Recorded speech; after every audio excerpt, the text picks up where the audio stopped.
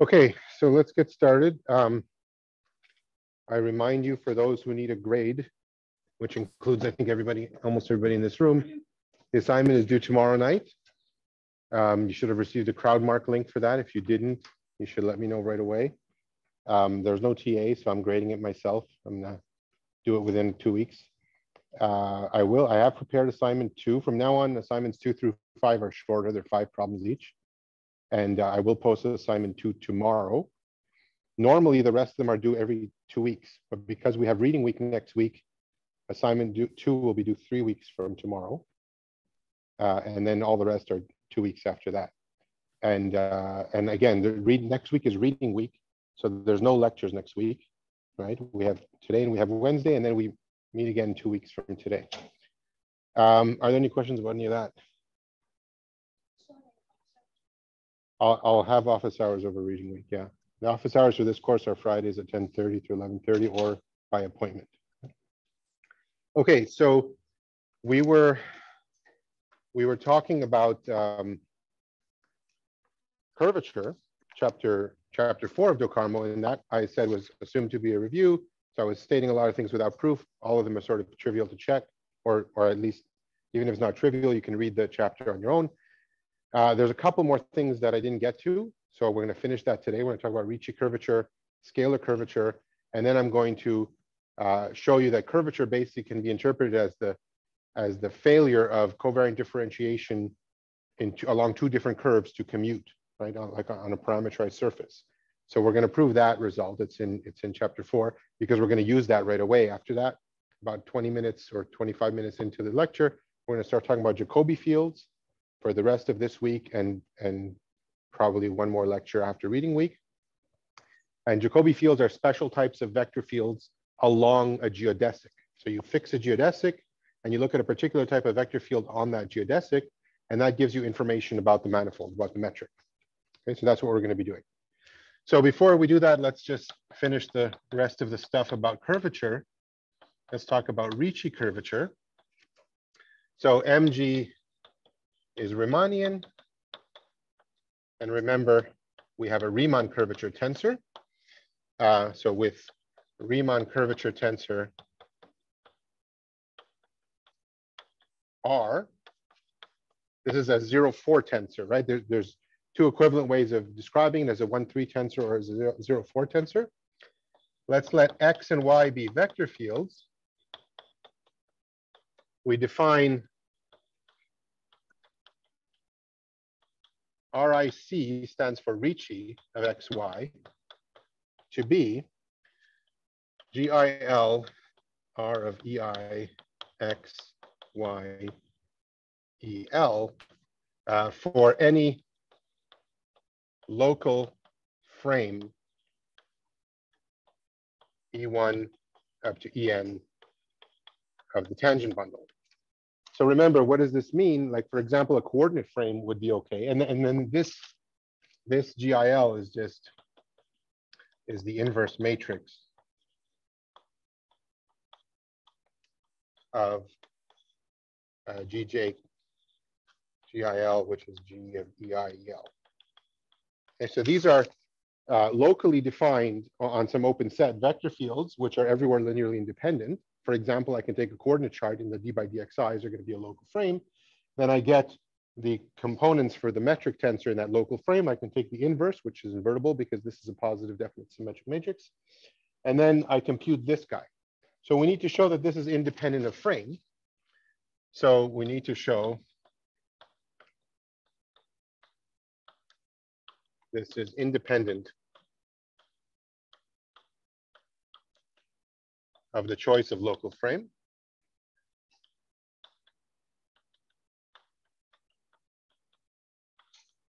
I'll do this calculation because everyone should see it once. So suppose E1 tilde up to En tilde is another local frame. So, so really what am I doing here? I'm defining for X and Y, vector fields, this is going to be a smooth function, real valued function on M, given a choice of X and Y. It's going to be a smooth function on M. And uh, what I'm saying is if you want to evaluate this function at a point, pick a local frame whose domain includes that point and calculate this function. Okay? So let's, let's see what happens here. There exists an invertible n by n matrix of functions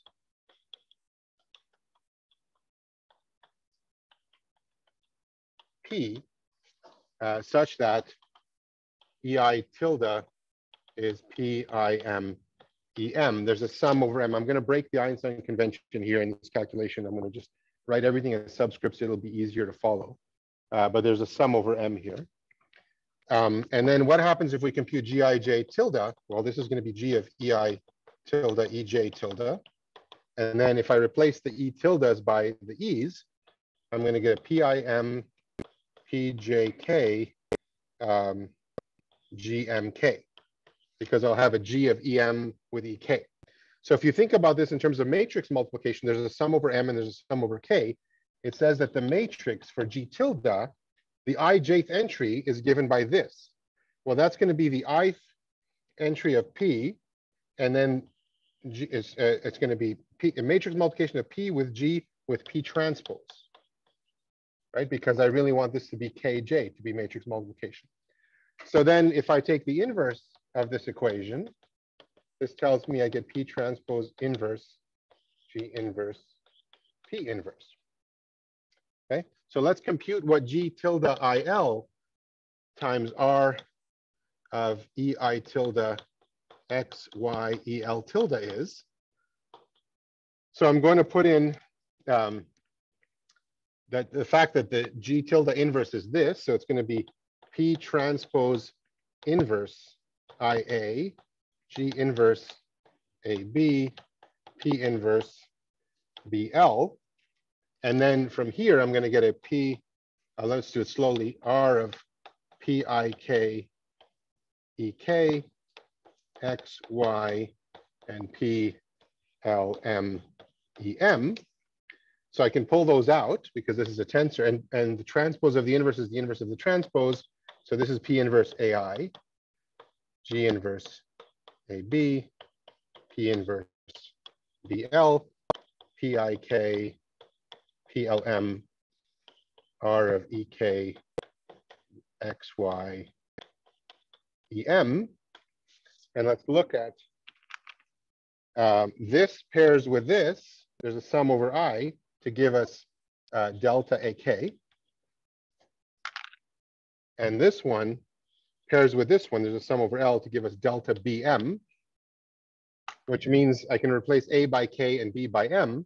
So this is going to be G inverse KM, which is the same as G upper KM, R, EK, X, Y, EM. Okay, so it's independent of the choice of local frame because I compute it uh, in the tilde frame or in the non-tilde frame, I get the same answer. So note if E1 up to En is a local orthonormal frame, which we can always do by running the Gram-Schmidt process on a local frame, just we can't ensure that it's a coordinate frame, uh, then Ricci of xy is just the sum from k equals 1 up to n, r of ek, x, y, ek. Right? Because in this case, this is just delta Km if it's an orthonormal frame. Okay. And we also know that because the Riemann curvature tensor is a, is a, is a tensor, if I replace x or y by, um, if I multiply x or y by a function, it comes right out. Uh, we also have that Ricci of fxy equals Ricci of x fy equals f Ricci of xy for all f in C infinity of M. And clearly, uh, it's bilinear in X and Y as well because R is bilinear. And Ricci is bilinear. So it's a smooth, smooth zero two tensor. It's something that takes two vector fields and gives you a function. And at every point, it's a it's a It's a bilinear form on the tangent space. By the way, remember we talked about the fact that there are various different conventions for the, the how we define the Riemann curvature tensor. So depending on how people choose to define the Riemann curvature tensor, that will affect their definition of the Ricci tensor. But everyone agrees on what the Ricci tensor should be in, uh, you know, qualitatively. So in other words, this definition that I gave is exactly the definition it has to be so that if you take the sphere, which has positive sectional curvature, you get the Ricci tensor is, pos is a positive definite symmetric bilinear form. Okay, so you might see other people contracting the Ricci to get the Ricci, they would contract the Riemann on the first and third, right? And that's because they have another convention for the Riemann tensor.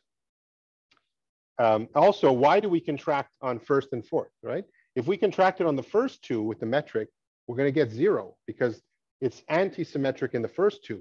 So if we contract it with something symmetric, we have to get zero. And if we contract it on the last two, we'll get zero. So it has to be one of these guys and one of these guys. And then because of the symmetries of the Riemann curvature tensor, all those choices, one, three, one, four, two, three, or two, four, they just differ by a sign. They're either equal or they differ by a sign. Okay, and this is, like I said, the one we choose because we want the Ricci curvature of the sphere to be positive. Um, okay, so the next thing to say about the Ricci tensor, oh, by the way, Do Carmo defines it, you know, he also has this issue that he picks the wrong sign for the for the Riemann curvature tensor, a non-standard definition. But independent of that, he also puts a one over n minus one in here, which is very non-standard. I've not seen that anywhere else, okay? Uh, there's a there's a method to his madness. There's a reason I can see why he did it, but no one else does it. So that means we have to be very careful in the rest of the book whenever we use the Ricci tensor to uh, to be aware that he's got this other factor of one over n minus one in front of there, and we're not going to have that. Maybe I'll just write it down. So note Carmo's definition definition of Ricci tensor is 1 over n minus 1 times the standard definition. Okay, and n is the dimension. Okay, so the first thing, or not the first thing, the, the main thing that's important about the Ricci tensor is that it's symmetric. So lemma uh, the Ricci tensor is a symmetric to zero two tensor.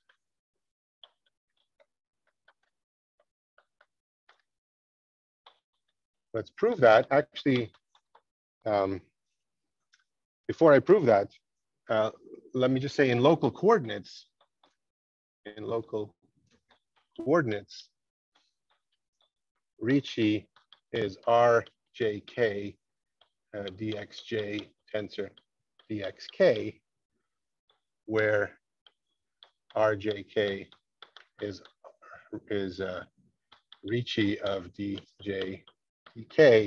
so it's i j k l g i l. So this is a standard thing that's done in Riemannian geometry. We're using r also uh, for the when we're writing the Ricci tensor in in coordinates but it's clear because it has two indices. It can't be anything else. When it has four indices, it's the Riemann curvature tensor. When it has two, it's the Ricci tensor.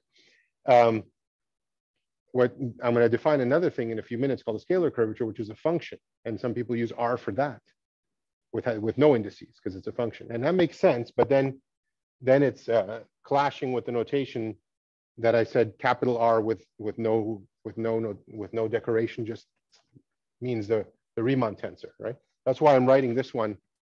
Uh, I wrote this as RIC, okay? Because there's something else that's R of XY. Okay, so let's prove that the uh, Riemann, the Ricci tensor is symmetric, i.e. Ricci of XY equals Ricci of YX for all X and Y. So we just need to show that the components in any coordinate frame are, are symmetric. So let's compute RKJ. This is RIKJL GIL. And let's use the Bianchi identity.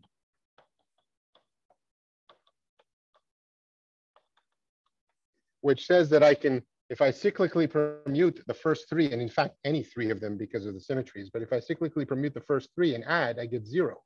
So I can use the Bianchi identity and replace this by minus R K J I L minus R J I K L G I L.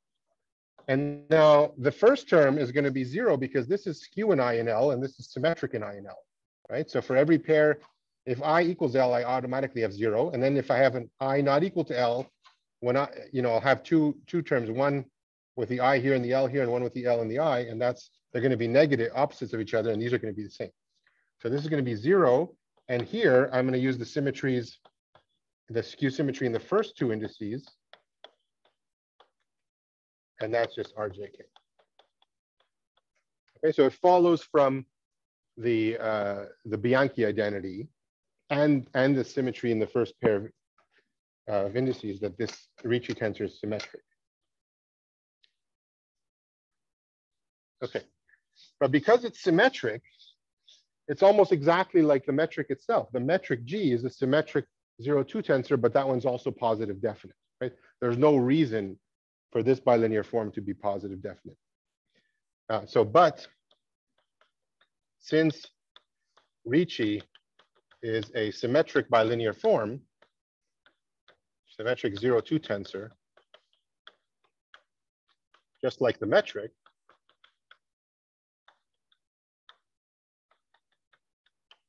we can compare them. They live in the same space. So we make the following definition. Um, mg is called Einstein, Einstein metric, if and only if the Ricci tensor is some constant times the metric, where lambda is a constant. Okay? This makes sense to, to impose this condition because, uh, because both sides are symmetric bilinear forms.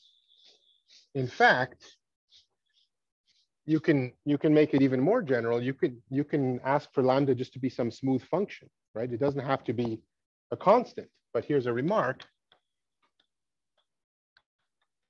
One can show that if Ricci is lambda g for lambda a smooth function, and the dimension of m is at least three, then lambda is constant. Right? That's not at all obvious. It uses what's called this second uh, Bianchi identity, the contracted second Bianchi identity. It's not a hard thing to do, but because it's not going to be relevant for us, I'm not going to do it. I just wanted to, to point it out, right? You could say, well, why do you make this a constant? It could just be a function, but it's actually not obvious, but it can't be a function if the dimension is at least three. If the dimension is two, it could be a function. Those, those definitely show up. Um, and in fact, in dimension two, the Ricci tensor is always a function times the metric. That's not obvious either, but it's true. So here's an example of an Einstein metric. Suppose mg has constant sectional curvature, little k. So we know that that means that Rijkl from last class is k times GIL GJK minus GIK GJL. And I told you there are there are manifolds with constant sectional curvature. Let's compute the Ricci tensor, RJK. I have to contract this thing with G upper IL. If I have G upper IL times G lower IL, that's the trace of the identity matrix. That's just N, it's the dimension. So this is N times GJK. And then here, if I contract G upper IL, I'll get a delta IJ here, so I get GJK. So I get K times N minus one GJK. Okay. And now you see why Do Carmo wanted to put a one over N minus one in his Ricci tensor, because he wanted, uh, he wanted if you have constant sectional curvature K, he wanted Ricci to be K times G. Uh, anyway, so any constant sectional curvature metric is Einstein. But there exist lots of Einstein metrics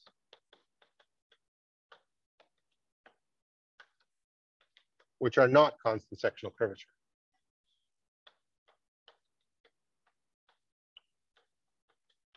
And again, this is not of course, on Einstein metrics, but I'll just give you an example. The complex projective space, CPN, with the Fubini-Study metric. This is the Fubini-Study metric. And if you know anything about Kähler geometry, this is the, the sort of standard metric on standard Kähler metric on CPN. This is Einstein, but not constant scalar sectional, constant sectional curvature. Okay, and Einstein metrics are a very important class of, of Riemannian metrics that have that show up a lot. But as I said, it's not the, the focus of the course. Um, I want to give one more definition, which is the scalar curvature.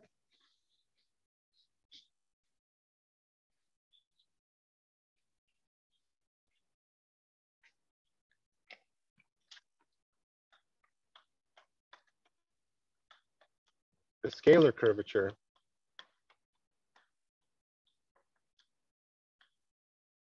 of G is, um, is a smooth function on the manifold given by S is GJK RJK. So GJK Ricci of EJ EK for any local frame E1 up to En. So the proof that this is independent of the choice of local frame is exactly the same.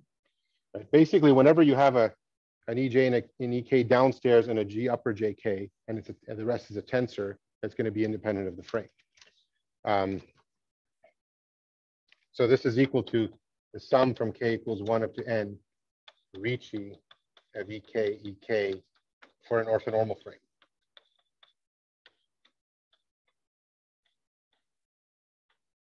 Okay, and this is a function, right? We've, we've taken another contraction, we've gotten rid of all the indices. And we've lost, each time we go from Riemann to Ricci to scalar curvature, we lose more information, and we throw away some information.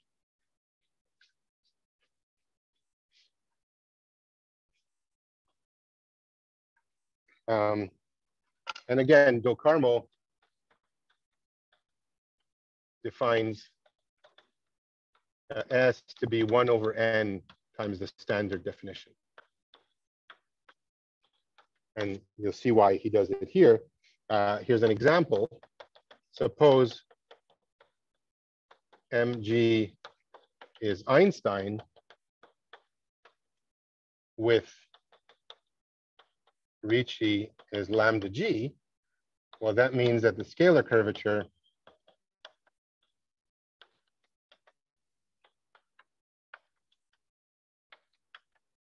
is n lambda is constant.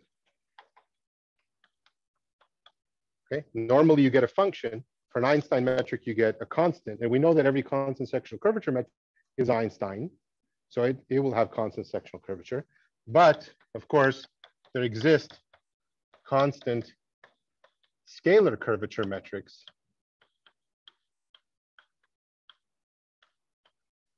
which are not Einstein.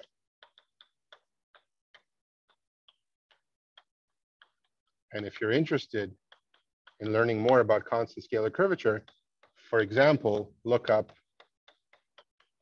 the Yamabe problem. We don't have time to talk about this. We could teach a whole course on the Yamabe problem, but it basically says, if you have a Riemannian metric, let's say on a compact manifold, can you always find a metric which is conformal to it, which is some positive function times it that has constant scalar curvature? And this was a big open problem that was finally solved in the in the early 80s by Rick Schoen in the affirmative that essentially you can always do that. Yep.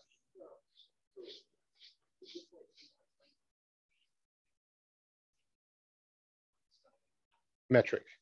Yeah, yeah. So saying something is an Einstein manifold is is a is a, a little bit unclear, right?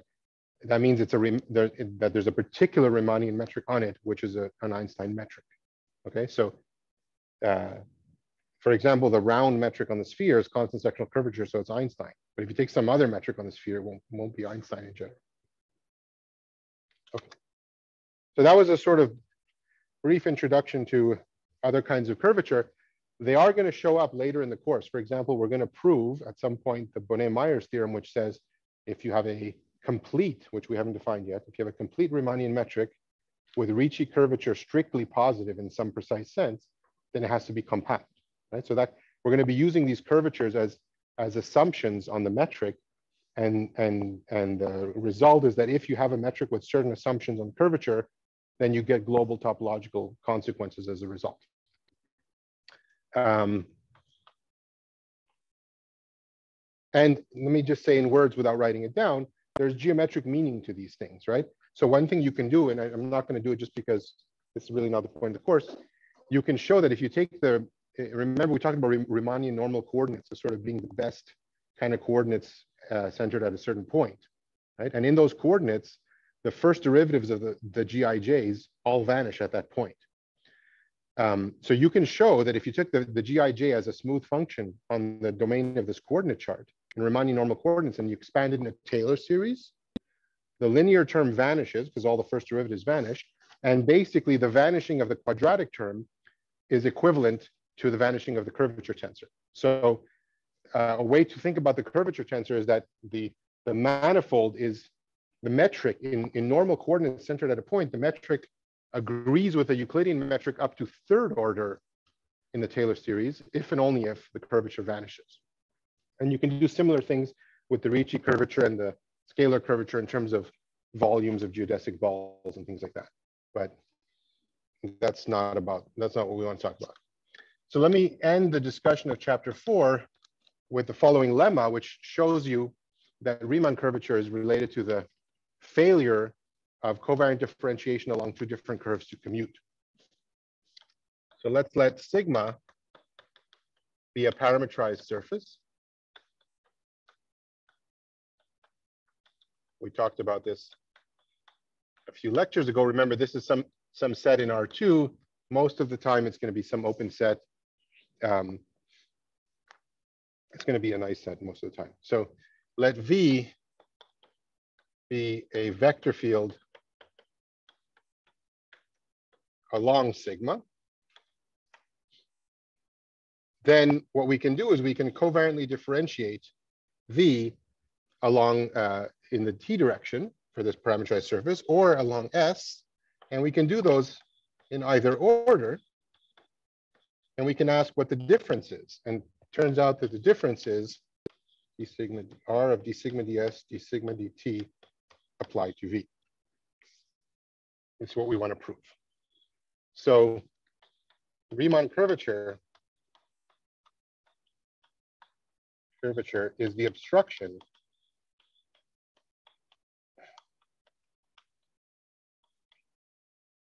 uh, to the uh, covariant differentiation along two different curves to commute.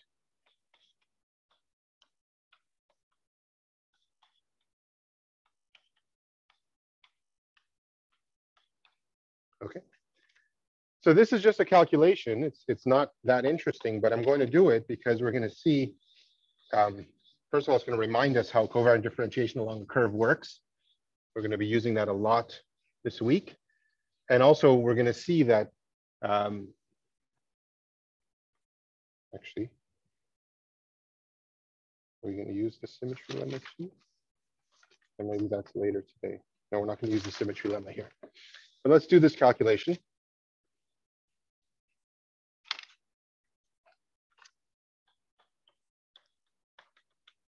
So everything here is a vector field along sigma right? Because we know that if we have a vector field along sigma, we covariant differentiate in the S or the T direction, we get a vector field along sigma. And this as well, um, what does this mean? Uh, if you if you want to evaluate this at a point S comma T, then that's a tangent vector at the point sigma of st, and so is this, and so is this, and therefore we can act by this to get a tangent vector um, at the point sigma of st. So let's let x1 up to xn be local coordinates in a neighborhood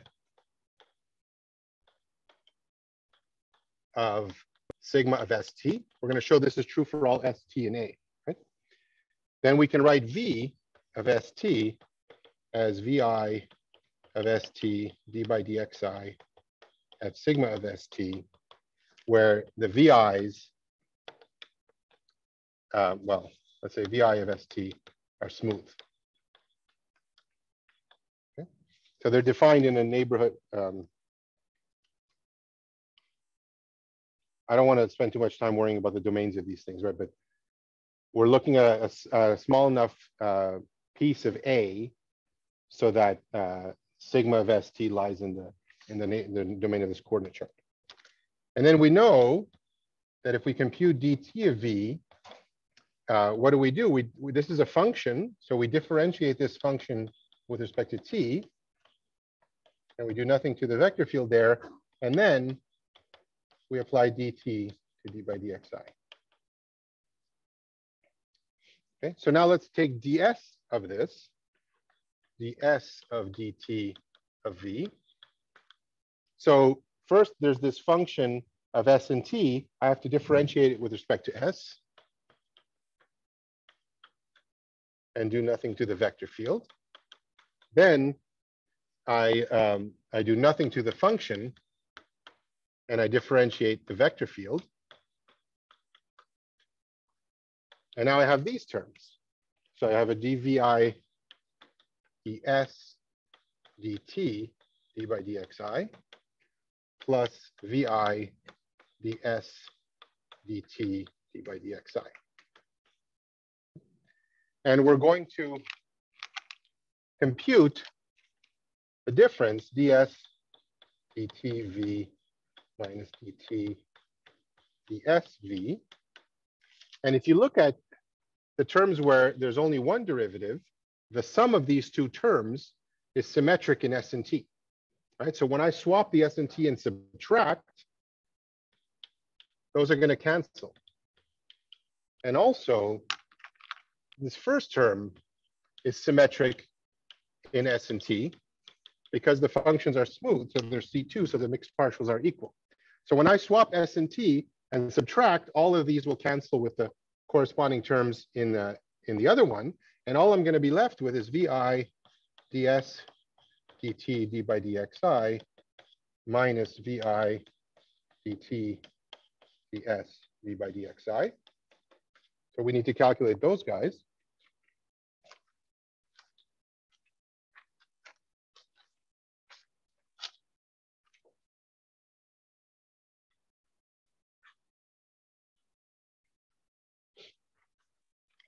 So recall that d sigma dt is going to be dxk uh, dt d by dxk. So we're writing sigma of st is some x1 of st up to xn of st, the coordinate representation for sigma, right? This is really the coordinate representation.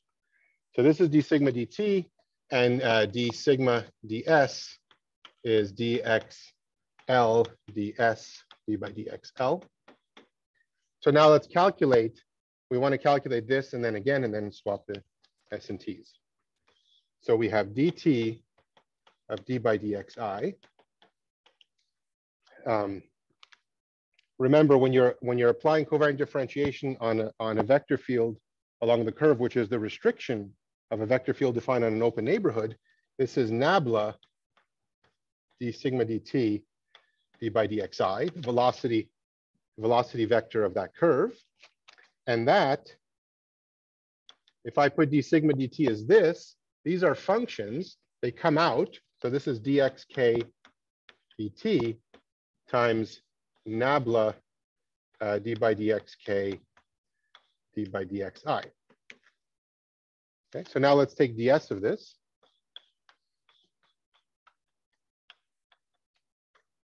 So now I have a function of S and T here. So first I have to differentiate that function and do nothing to this guy. And then I leave that one untouched. And I differentiate nabla d sigma ds of d by dxk by dxi. And I do the same thing here. d sigma ds is this. So this term is dxk dt dxl ds uh, nabla d by dxl of nabla d by dxk d by dxi. Okay, so again, what I want to do here is swap the s and t and take the difference. This is symmetric in S and T. This one is not symmetric in S and T. That's exactly where we're going to get the curvature. So if we do that difference,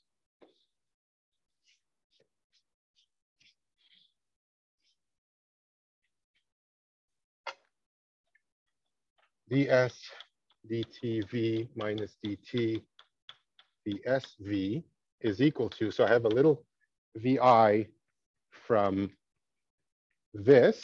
So I factor out the vi and I have this expression. As, as I said, when I take this difference, that's going to go away. So I'm going to write this thing and then minus this with the S and T swapped. So I'm going to have dxk um, dt, dxl, ds, nabla, um, d by dxl, nabla d by dxk, d by dxi, minus dxk ds, dxl dt,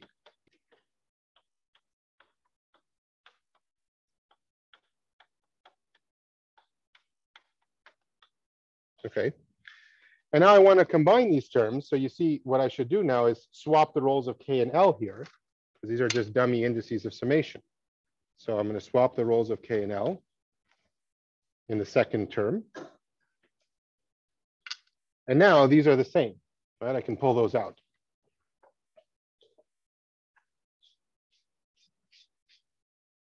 So this is equal to VI dxk dt dxl ds. And what's left is uh, partial L partial K on xi minus partial K partial L on xi. And the bracket of those two guys is zero because they're coordinate vector fields. So this is R L K I um, J d by dxj. Okay. And then that is equal to um, vi dxk dt dxl ds r of uh, d by dxl d by dxk applied to d by dxj. And I can bring these guys in now. Right? When I bring this guy in here, I'll get a d sigma ds. When I bring this guy in here, I'll get a d sigma dt. So this is vi r of d sigma ds d sigma dt, d by d x. Uh, this is this is an i, sorry, because it acts on i. And then again, I can bring this through, and that's r of d sigma ds, d sigma dt applied to v. Okay. So if we commute covariant differentiation along a curve, we pick up a curvature term like this. We're going to use this in the next few minutes. Are there any questions about that?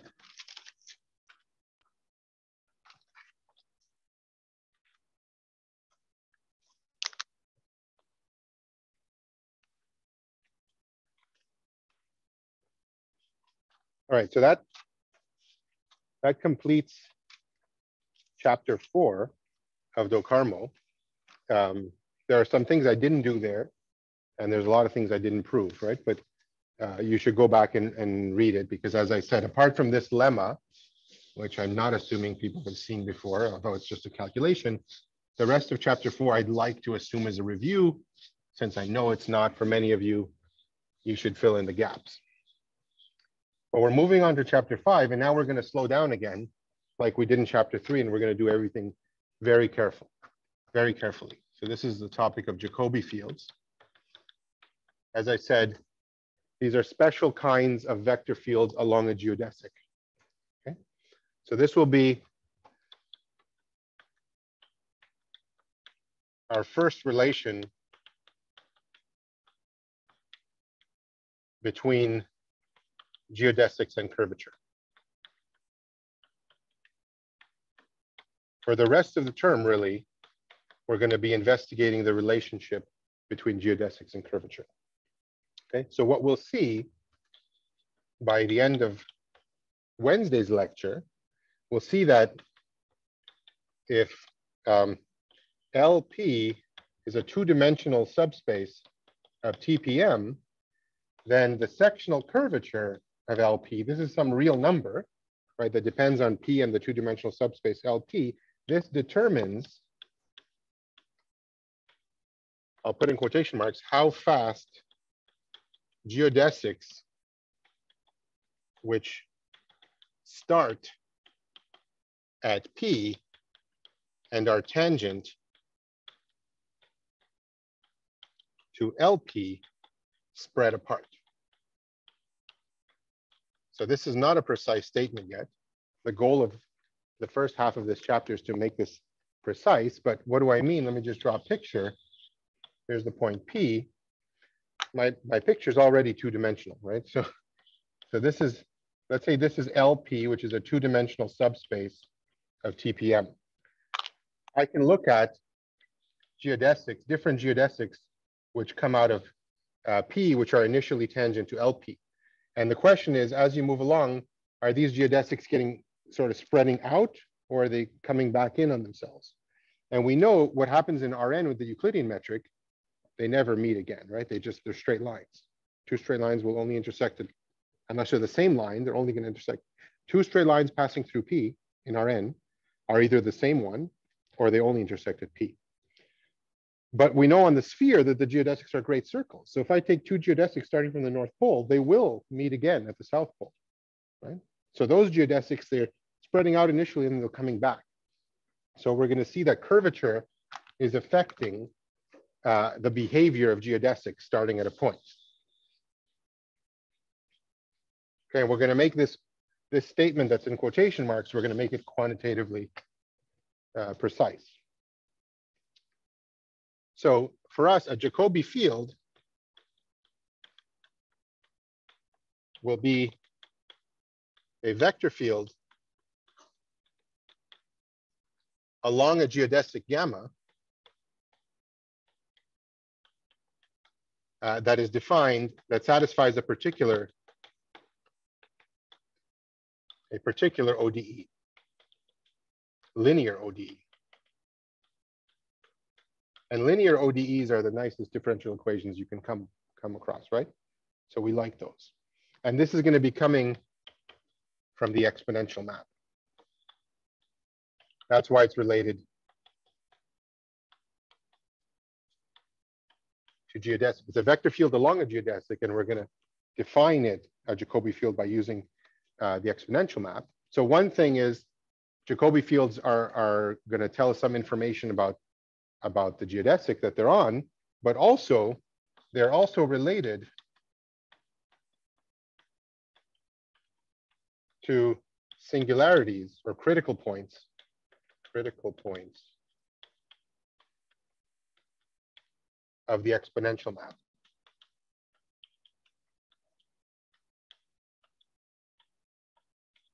i.e. points uh, in uh, TPM where the push forward is singular.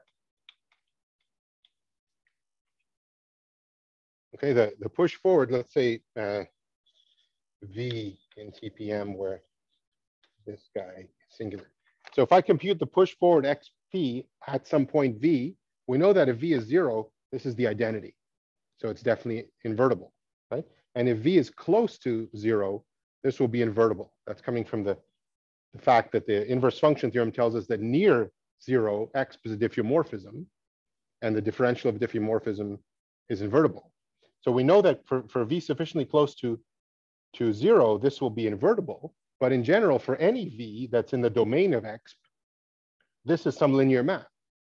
And it goes from n dimensions to n dimensions. So it's it fails to be invertible exactly when it has a kernel, a non-trivial kernel, right? And those those are going to be detected also by these Jacobi fields. We're going to be able to characterize exactly when does the exponential map become uh, um, fail to be invertible in terms of the existence of a Jacobi field with certain properties. But I haven't told you yet what a Jacobi field is. Okay, so that's that's the goal of this whole week now, and probably a little bit after the reading week as well.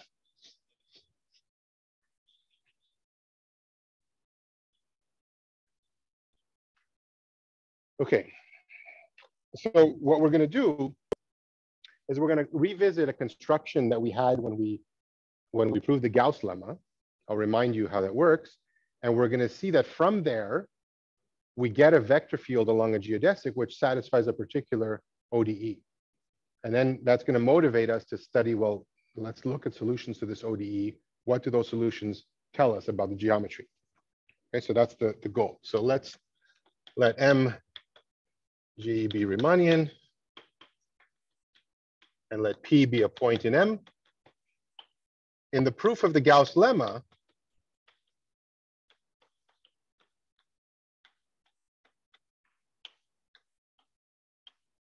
we saw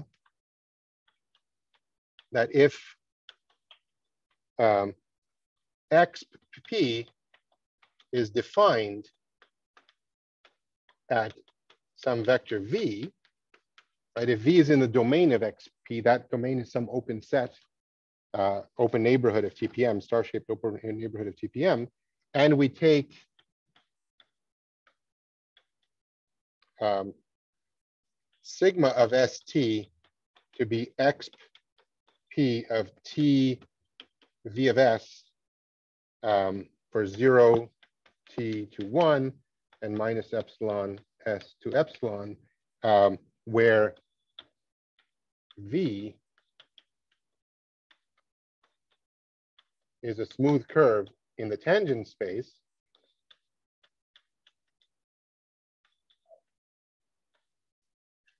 Curve um, with v of zero is this vector v, um, and v prime of zero is some w, which is in the tangent space to TPM at v, which is canonically TPM, then, so if we if we took a, a smooth curve v with these properties and we, we looked at x p of t times v of s, we get a parametrized surface um, and the push forward at V applied to W is equal to d sigma ds at zero one. Okay, so let me remind you how that uh, how that went. So, so let's uh, see how that goes. Review of this calculation. What is d sigma ds at zero one? I want to differentiate with respect to s at s equals zero and t equals one. Then I can put t equals one already, because I'm taking a partial derivative here. Um, and I, I just want to differentiate with respect to s at s equals zero, sigma of s1, and that's d by ds at s equals zero of xp of, let's go back to the definition of sigma of s and t. It's xp tvs. So if I put t equals one, I just get xpvs. And now that's a curve in TPM. And then I apply the x map to that. And then I take the velocity at s equals zero of that curve. So that's equal to the push forward at, well, what happens when I put s equals zero there? I get V, apply to V prime, let's just put W. This is V prime at zero. Okay, so I just reproved that for you.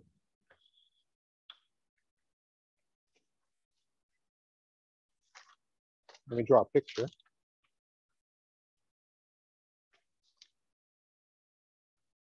So this is TPM.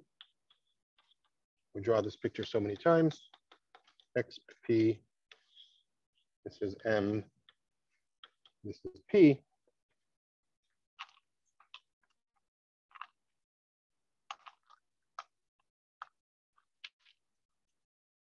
We have this curve V of S, and this is V, which is V of zero. Um, and its velocity at time zero is W. And then this gets mapped, and use the same colors. This is XP of V of S. So this is, um, so the, the pink curve here is XP of V of S. And this vector here is XP star at V of W, which is just d sigma ds at zero, one. Okay, it's just the velocity of this, this image curve. And we can look at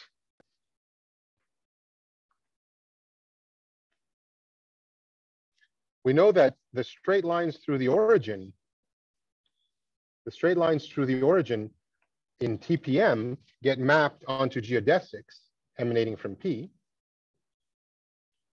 So these are geodesics. The blue lines are geodesics. And so you see that uh, the, the size of this tangent vector, its norm, is somehow measuring how fast we're moving along this red curve in the manifold, okay? And, and here, this red curve is sort of, um, is, is uh, for every point S, we have V of S, and then X of V of S is, a, um, sorry, X of T V of S is a geodesic. So this blue, if this is, if this corresponds to time S, then this is T times V of S as we vary T. And then we get X uh, comment. of T V of S, yes? The colors really aren't showing up on the video. Yeah, I know. There's nothing I can do about that. The color doesn't show up on the video, but uh, if it was all white, then it wouldn't help you any better, right? So this is the best I can Oh, do. okay, well, as long as you know. Yeah, yeah, I know. I wish I could do something about it. Okay, so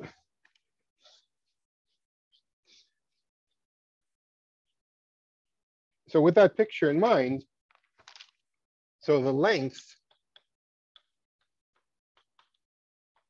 x p star at v applied to w, that's a tangent vector. I can take its length. That's just the length of d sigma ds at zero, one. Um, this is the length of the velocity of the curve. S- uh, S goes to sigma of S comma one uh, at S equals zero. Um, intuitively measures uh, the rate of spreading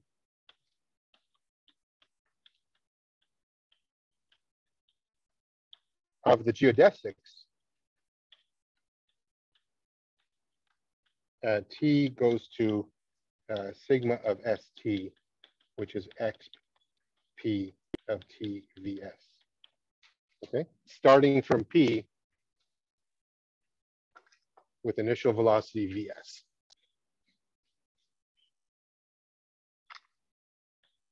Starting from P with initial velocity v of s. Right, this this thing here, t goes to this, is exactly uh, a geodesic. This curve t goes to x p t of vs is a geodesic uh, with initial velocity vs. Okay, so again, in the picture, we're saying that as we as we're following this red curve here, we're getting uh, these um, these radial blue lines, which are getting mapped to geodesics. And if these geodesics are going to be spreading apart quickly, that means this green vector is going to be big in length. This the velocity of this blue this red curve, which is the image of this one, should should be large. Okay, this is all again motivation. So we'll see that this is related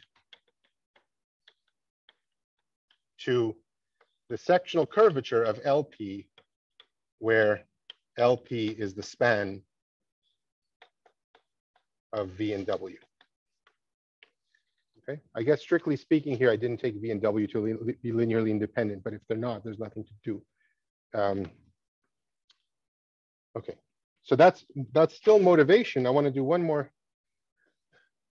say one more thing about motivation before we actually get started.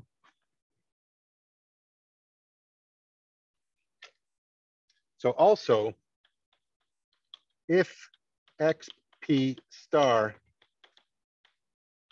of v w, if this length is zero for w not equal to zero, then uh, the push forward which goes from TV of TPM, which again is canonically TPM, to TXP of VM um, is singular. Right, this is a this is a linear map, and these are both uh, both n-dimensional. So it's going to be um, not invertible. It's going to be singular if and only if there's something in the kernel. And that's if and only if there's some non-zero W.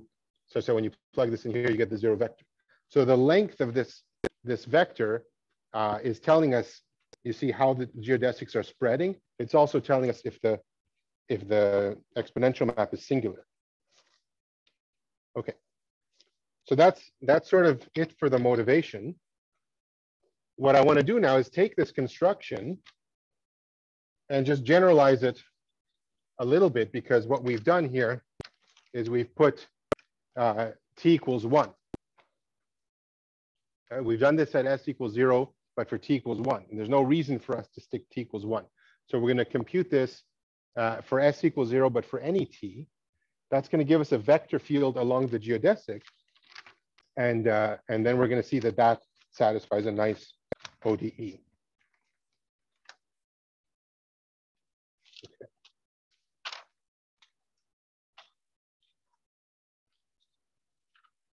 All right. So recall we had sigma of ST is Of T V of S. Okay, so more generally now, let's consider uh, d sigma ds at zero t. So before we had t equals one.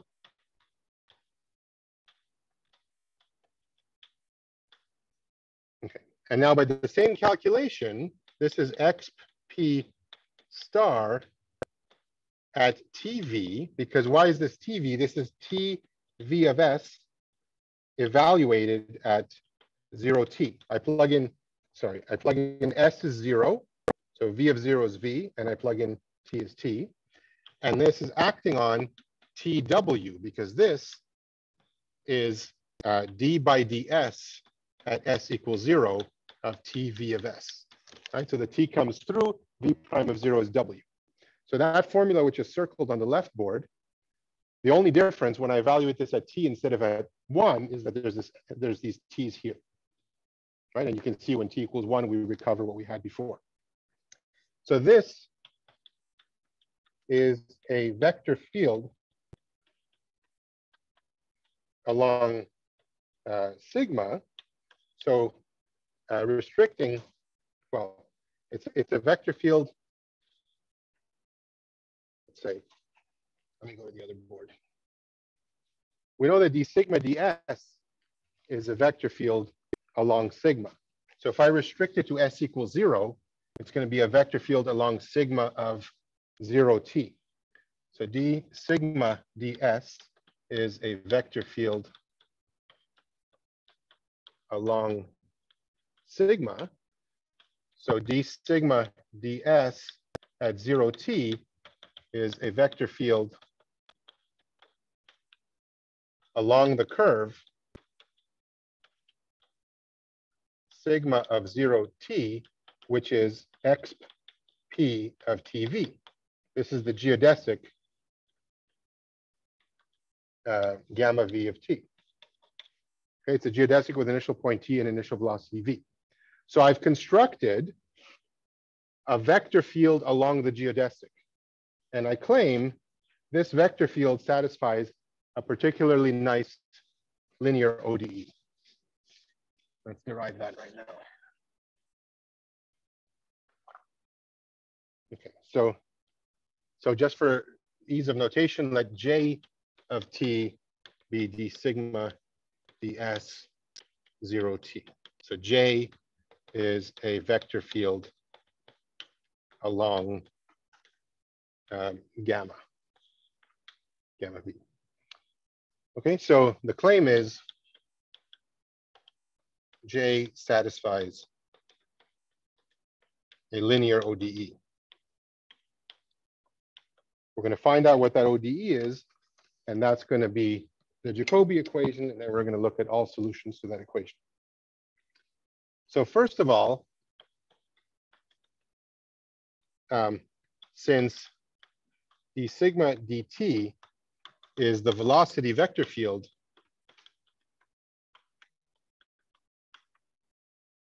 of uh, the geodesic, t goes to x t x p t v of s, which is sigma of st, uh, we have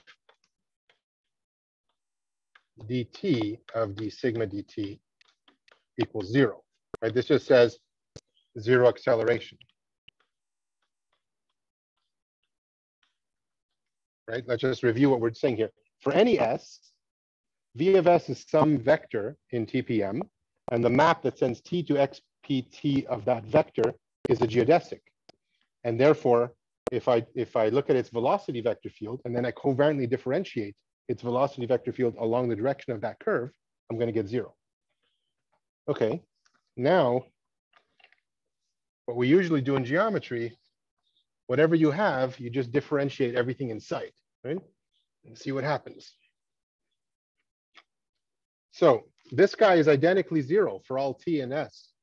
So that means if I differentiate again, covariant differentiation is linear. So it's going to take, it's going to take zero to zero. So I just differentiated that in the s direction. But now, by the symmetry lemma,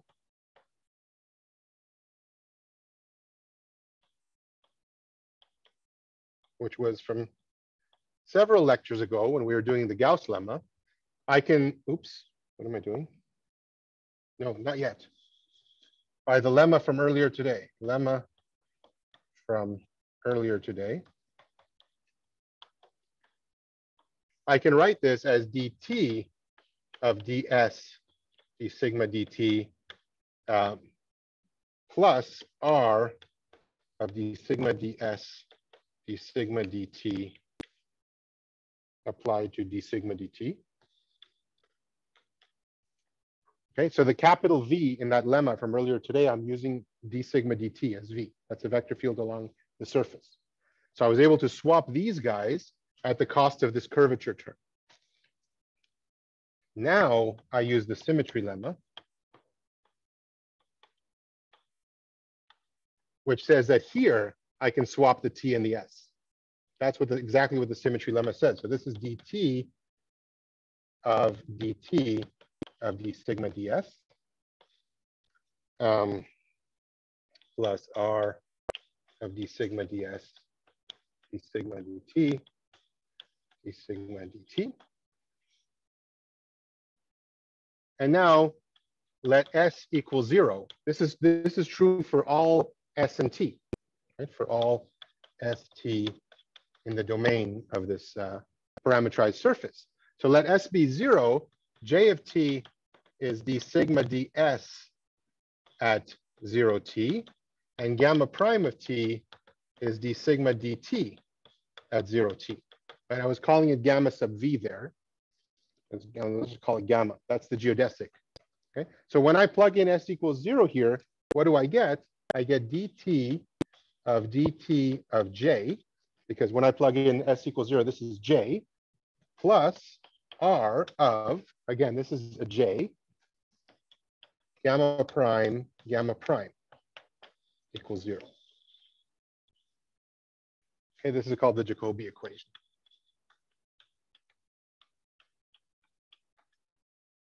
See what we've done is we started with this particularly nice parametrized surface, which is sweeping out these geodesics. And we saw that the that when you when you look at the d sigma ds for that parameterized surface, and then you set s equal to zero, you get a vector field along the geodesic, which satisfies this ODE.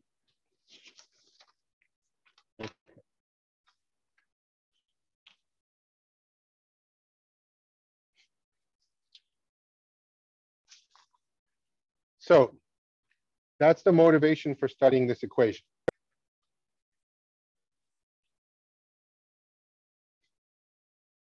So definition. Um, let gamma from 0a, let's say, to m be a geodesic on m. Um, a vector field J along the geodesic gamma is called a Jacobi field.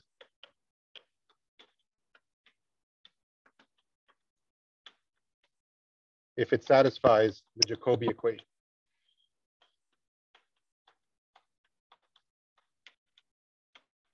Jacobi equation. And again, let's write it out again. This is d t squared j plus r of j gamma prime gamma prime equals zero.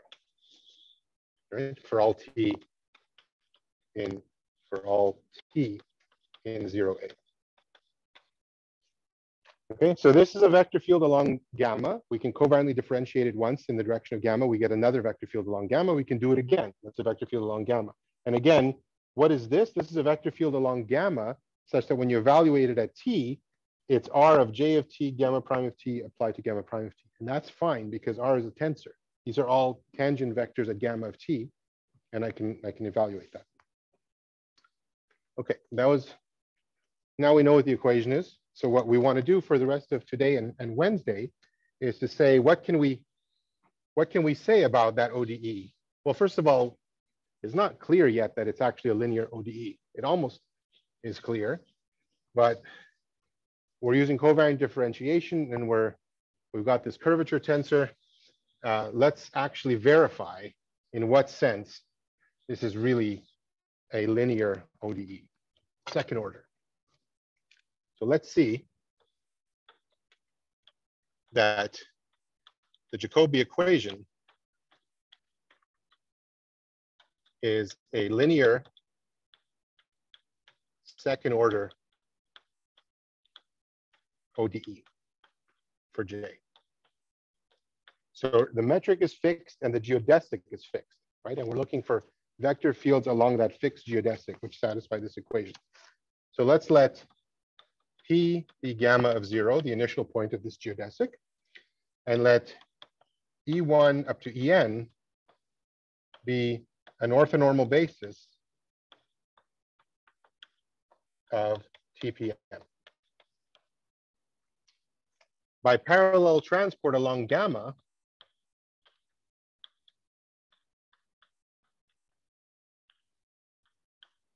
which is an isometry, all parallel transport is an isometry,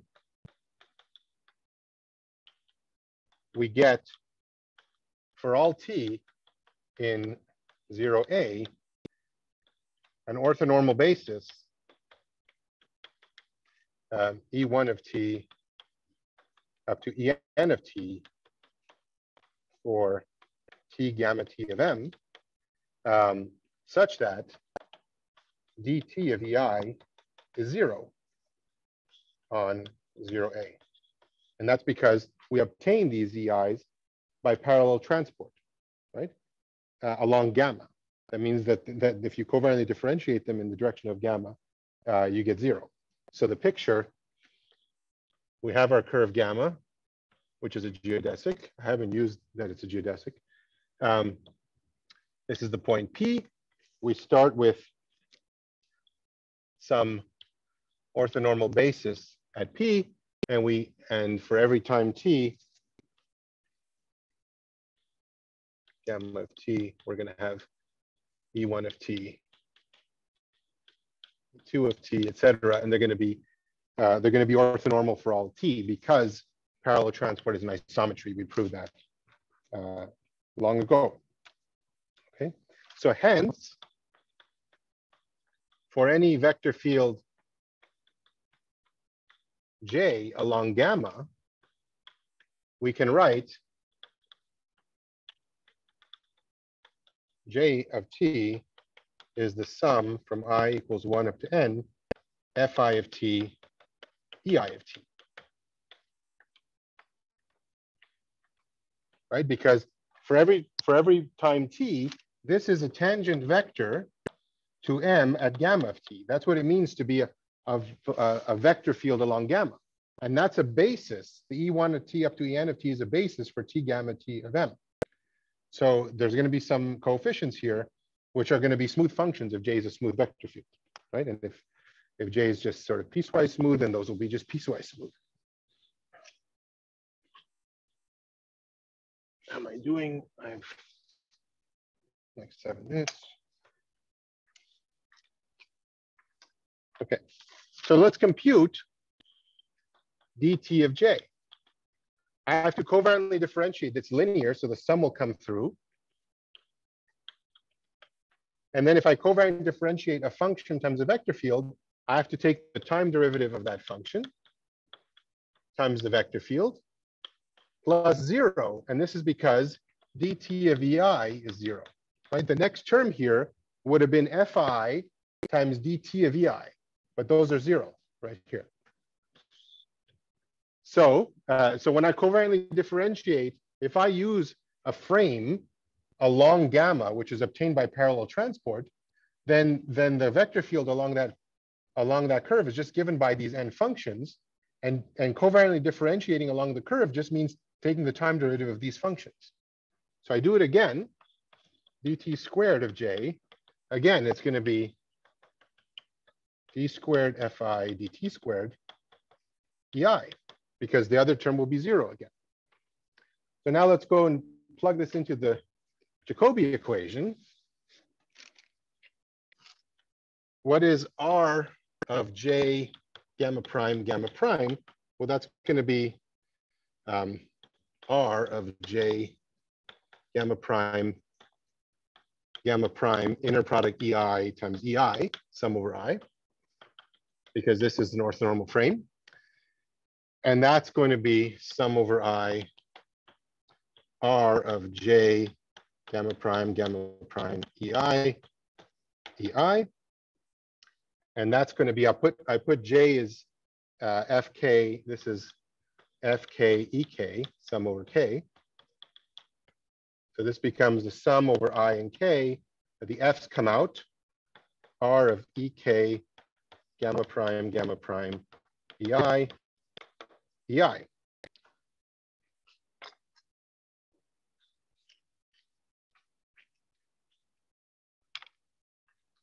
So this thing here only depends on the frame I chose and the geodesic. It doesn't depend on J. So let's call this AKI. Okay, this is a function of T. Maybe I shouldn't call it A. Let's call it BKI. It's a function from 0a to r. And it's as smooth as the as gamma. Gamma is a geodesic, so this is smooth. Okay. Now let's put together uh, the Jacobi equation. And this will probably be a good place to stop, maybe. Um, So dt squared j plus r of j gamma prime gamma prime equals zero is equivalent to, I have this expression for dt squared j in terms of the EIs, and I have this expression for r of j gamma prime gamma prime.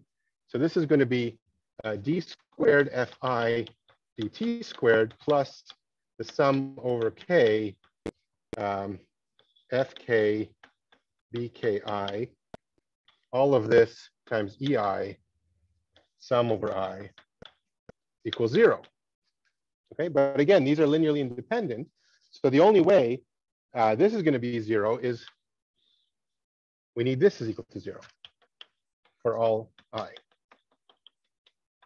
And the b's are known information that comes from the geodesic, which is fixed. So this is a system of n second order linear ODEs for F1 up to Fn. Okay, and we know from the theory of ODEs, because it's linear, as long as we prescribe the initial values of the F's and their first derivatives, there's going to exist a unique smooth solution. Let me write that down. So from the ODE theorem, if we prescribe initial conditions, which are the FIs at time zero and the DFI DTs at time zero, then there exists a unique smooth solution. Okay, so let's translate back to getting rid of the, of the local frame, what does it mean? What's this equivalent to? If you know all of these, that's the same as prescribing J at time zero, right? Because the FI is at time zero, we, we've chosen the frame at, time, at, at the first, at P. So prescribing the FI is at time zero is the same as prescribing J at time zero. And this is the same as prescribing DTJ at time zero. So to summarize, the Jacobi equation. So let gamma be a geodesic.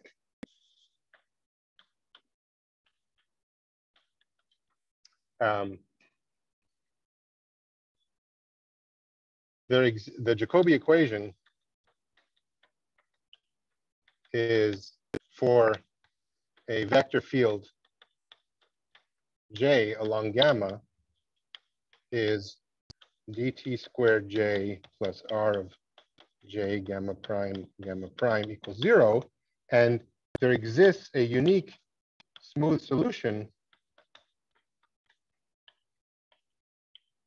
given uh, j of zero and dtj at zero, which is in TPM. P is gamma of zero. Okay, so if we prescribe the initial value of the Jacobi field and the initial value of its first covariant derivative in the direction of the geodesic gamma, then there will be a solution and there'll be only one and it's smooth. Okay, so that is probably where we should, oh, well, let me just make one more comment and we'll stop there. So also from, uh, from ODE theory, you can show basically the solutions, you know, it's a linear equation. So if you have a linear combination of solutions, you get a solution and you get a two n dimensional vector space of solutions. And that, that uh, space can be, for example, described by saying, I can take the solution where all of these are zero except one of them, and all of these are zero. That's going to give me n different solutions there. And I get n more solutions by taking all of those to be zero and all of these but one to be zero. And you can show, and, and it's easy to see that any solution is going to be a linear combination of one of those two n basic solutions, and those are independent. So by the OD, by general ODE theory, since the equation is linear,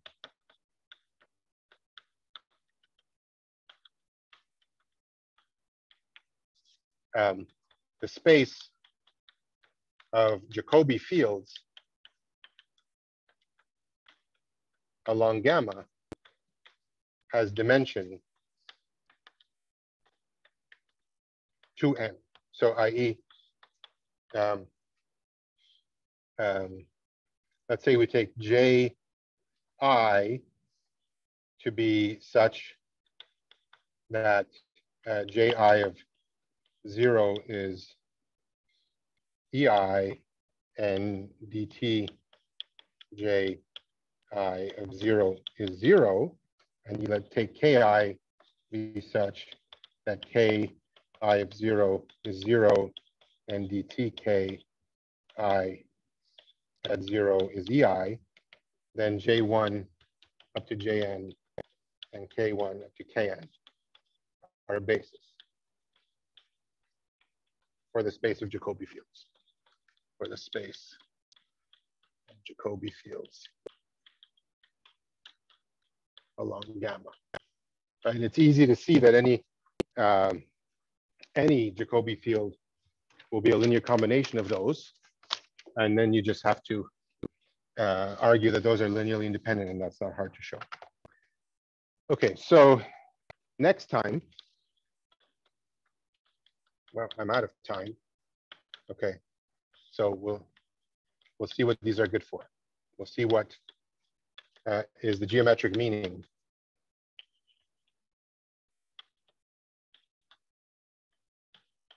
of Jacobi fields. And we've already hinted with that long motivational discussion that they should be related to spreading of geodesics, and they should also be related to singularities of the exponential map, critical points of the exponential map. So we're going to do all of those things.